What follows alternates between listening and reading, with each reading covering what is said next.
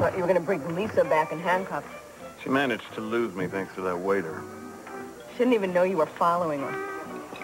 What happened to my calamari? It was delicious. Look, if you think I enjoy following Lisa around, you're wrong. You might notice that Robert Barr is still sitting with Gina. He didn't leap out of the room to follow Lisa like you did. I'm sorry to interrupt you, Mr. Barr, but Miss Renfield insisted it was important. Thanks. uh, what is it, Renfield?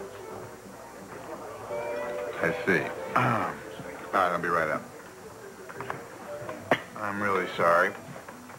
I got a little uh, European negotiation I have to handle, but I won't be long. I'll go with you. No, no, no. You stay here and enjoy the meal. I'll be right back, okay? All right.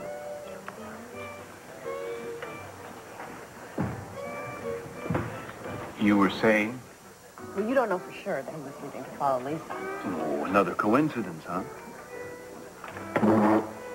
Where are you going? I've lost my appetite. You didn't lose it. You stuffed yourself with my calamari, and I'm starving.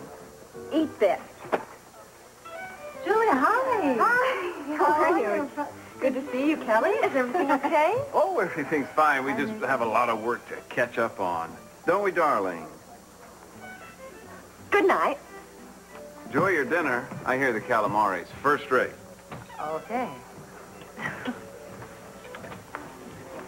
I think it's so sweet that you girls trot your mother out to restaurants every once in a while. I see you've been left even yet again, Gina.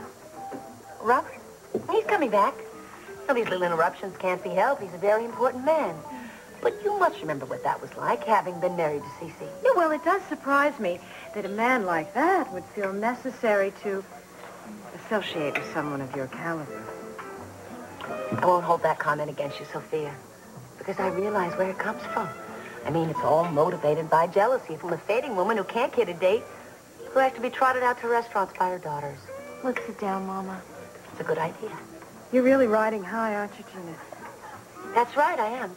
Good, because it'll make the fall all the harder, and you're going to crash, so I'd enjoy your champagne while you can.